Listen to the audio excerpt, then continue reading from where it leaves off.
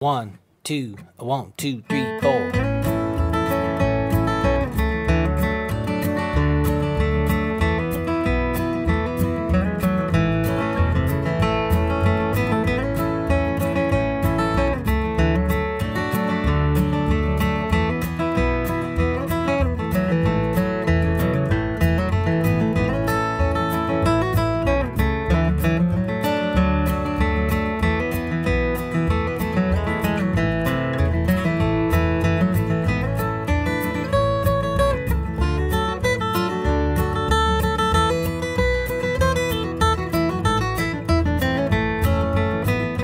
Folks, thanks for checking out the lesson here for Blue Ridge Cabin Home in the key of A, and of course we'll be working out of G position right here. And as you just saw and heard, I created two arrangements, the first one being very beginner.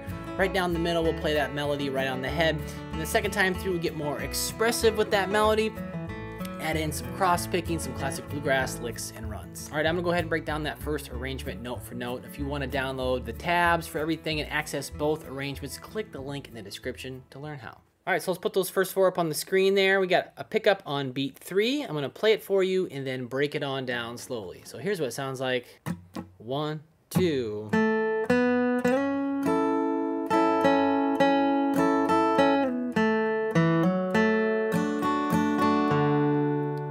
One more time. One, two.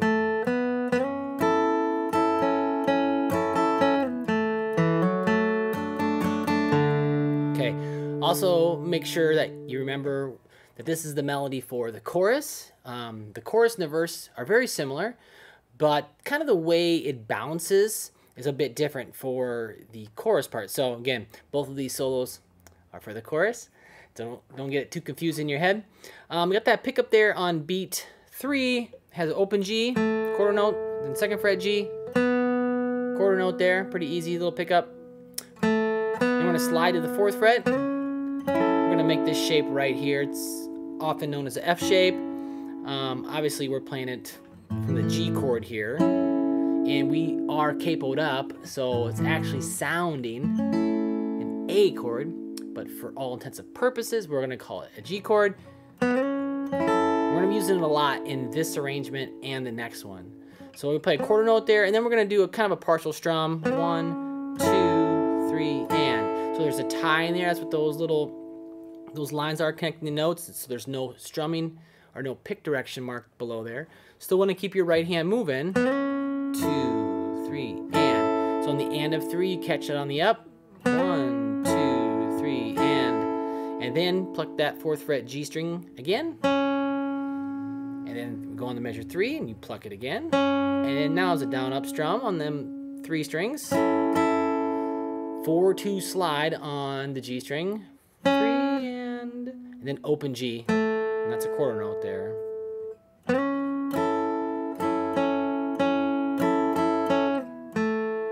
And then measure four, we go to the C chord, but we're gonna hammer zero to two on the D string. And then open G.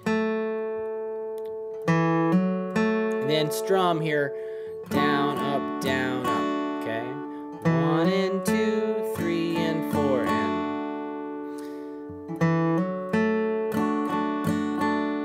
Those four in context now. One, two.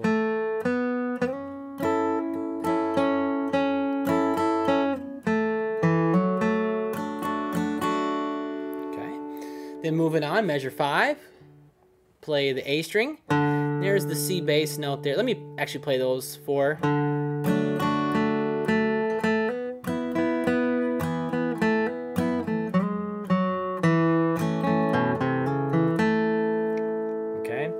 So measure five, again, we had the C, still on the C chord. We'll play the bass note, and then we'll do a down up strum on the higher sounding three strings. If you hit more than that, it's all right, but just one, two, and. And then the melody goes to the open G, twice there, two quarter notes, very simple. Three, four. And then we go to um, a D chord, and we're gonna pluck the G string though, and then strum a D chord. Now there's a little bit room here for kind of fingering or playing this D chord for whatever's comfortable for you. Um, so I I have it tabbed out that you know the whole D chord right there, two, three, two, right? But you might see me just be plucking, I'm sorry, fingering the uh, G and the B string. Okay, and I might be doing it with some different fingers right there. I have the pinky and the second finger. You might see the first and the second finger. You know, it kind of depends on what's happening, what's coming next. But um, yes, you can definitely do it the regular way.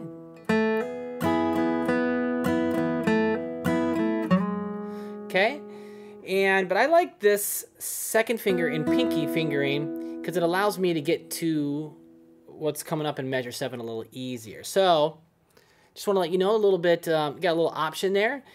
So measure six, I hammer two or zero two on the G, and then I strum. And then second fret G, strum. And you notice the high E rings open a little bit. That's totally fine. Kind of gives it a D9 sound. Um, a little more open. And that's, again, that, that totally works. Measure 7, 0, 2 hammer on the G, strum. And then right here is kind of the reason for all this is fourth fret on the D, second fret on the D. Okay? I just had my third finger available to catch it.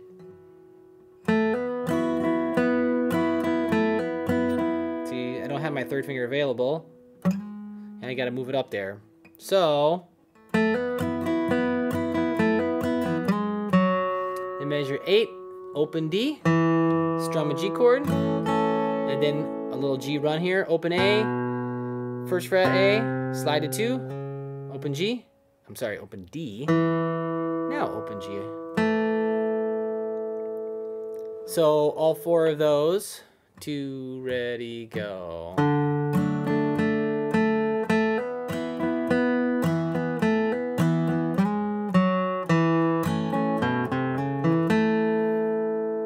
So just watch your fingering on the D chord, see what's most comfortable. I know some people aren't used to doing the fingering like that, but it's just a bit more efficient. And you want to be able to play that D chord a couple different ways since it is one of our basic chords. There's more than one way to finger it.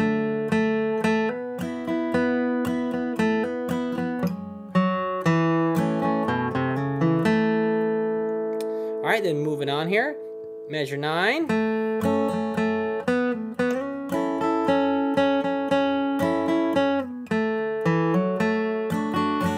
Okay, it's almost exactly the same as the first four measures of the piece. Very similar, just one little thing's different. So measure nine, I end on that open G, right, from my G run. I strum the G.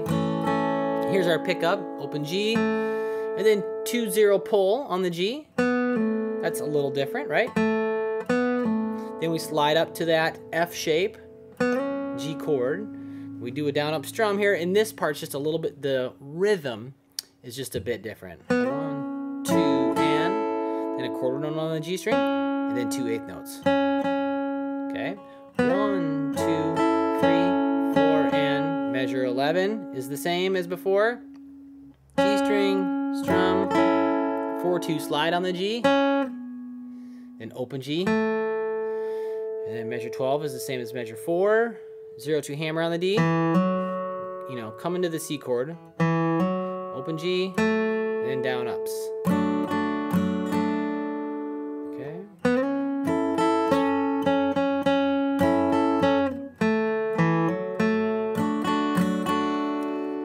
Last four of this arrangement um, sound like this. Okay,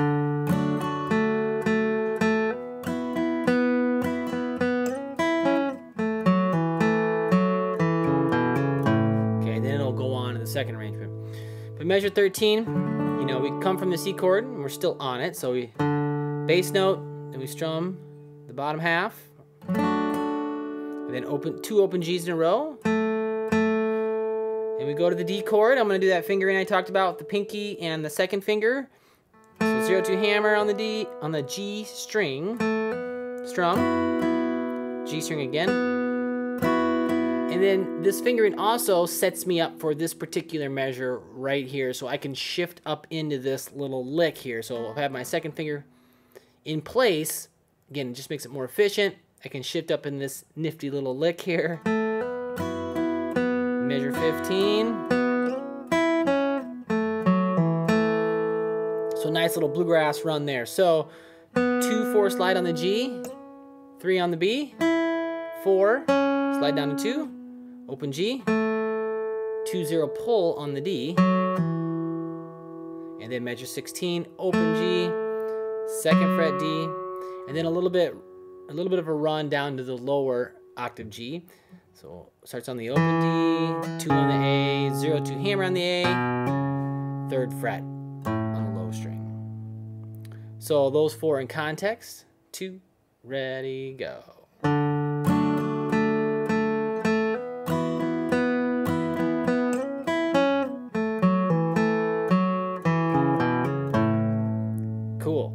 So there's the arrangement, or the first arrangement. I'm going to play through the whole thing now, and you can follow along. I have the tabs up on there.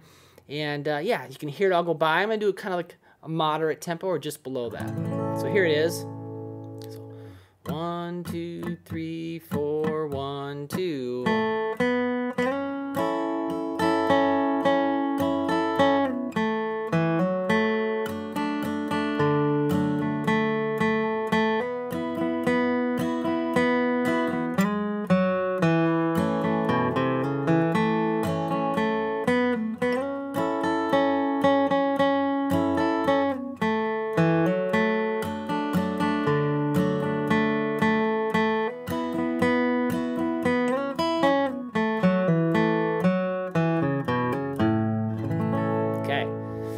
First arrangement. If you want to download the tabs for this one, the audio tracks, and access the second arrangement, all the videos, and the Soundslice, click the link in the description to learn how. Otherwise, you can watch some other videos that are around me.